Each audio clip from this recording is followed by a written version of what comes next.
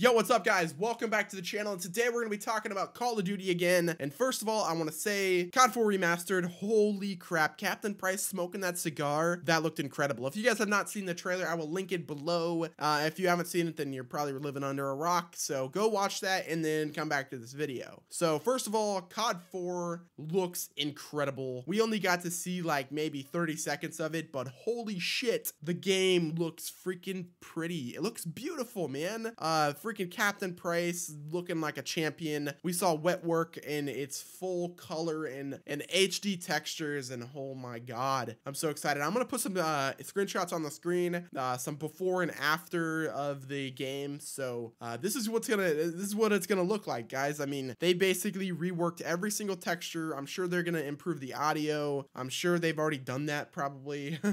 they're gonna rework models and stuff and and my gosh, dude, it's happening. The time is now, folks. We are going to be playing Call of Duty 4 Modern Warfare this year in full HD remastered form. Holy shit, man. Uh, it, it's going to be exciting, man. I'm so excited. Like, I cannot even, words cannot describe how hyped I am for this freaking remastered version of the game. Now, the only issue that I have is I, I've probably said it about a million times on Twitter. Uh, COD 4 has 20 maps to it, and right now we're only going to be getting 10 of them. So that means we're going to be basically getting ripped off by a bunch of maps. Like, what the hell, man? I want every single map from COD 4 in the new one, no questions asked. Uh, but most likely what's going to happen is uh, Activision is going to make us buy these maps again. Um, so we're going to have to probably buy DLC just to get the rest of the maps in Call of Duty 4, which that's going to suck, but you know, Activision, you can have my money. Just give me all the fucking maps and I will be happy. Now, uh, on the Activision support, they actually did a uh, frequently asked questions, and one of the main points was the movement is going to stay true to the original game, which is a must. If it didn't, then I probably wouldn't even buy the game at all. So uh, that's one thing that I want to say. Uh, the movement is going to be perfectly fine. And the next part, they said that they're going to have dedicated servers, which first of all, I doubt these servers are going to be dedicated. Let's just be honest. They're going to probably be the hybrid servers that have a very low tick rate, most likely 10, maybe 15. Uh, but I hope they are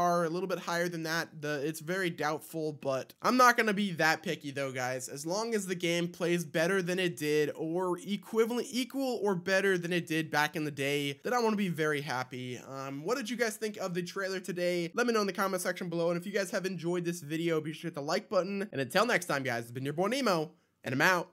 Peace.